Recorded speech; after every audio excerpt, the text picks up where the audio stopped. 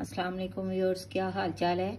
आज मैं बनाने लगी हूँ चिकन पकौड़ा बोनलेस का बनाऊँगी। तकरीबन बोनलेस है और इसको मैंने हल्का सा बॉईल कर लिया इसमें चीज़ें क्या क्या ऐड करनी है?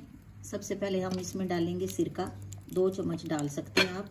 लेमन जूस चाहते हैं तो वो डाल सकते हैं। लहसुन अदरक का पेस्ट डाल सकते हैं या उसका पाउडर तो मैं पाउडर शामिल करने लगी हूँ। साथ ही हम डालेंगे नमक, सुरख मिर्च पाउडर हल्दी पाउडर गरम मसाला पाउडर, इसमें आप वाइट तिल भी यूज़ कर सकते हैं, लेकिन मैं इसमें डालने लगी हूँ खुश्क धनिया थोड़ा सा इससे इसकी बहुत ही खूबसूरत लुक आएगी।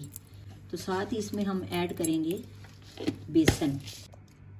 अब हम इसमें डालेंगे थोड़ा सा पानी, ताकि हमारा एक लिक्विड सा रेडी हो जाए।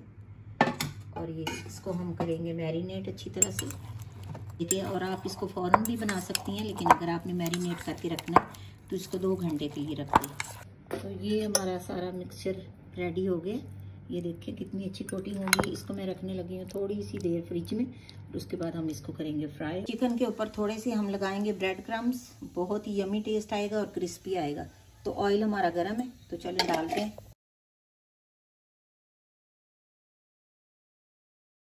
तो ये देखें कितनी यमी और क्रिस्पी हमारे चिकन पकौड़ा रेडी है। तो इस तरीके से भी आप बना सकते हैं चिकन पकौड़ा। बनाइएगा तो कमेंट में बताइएगा। आइए चलते हैं प्लेटिंग की तरफ़।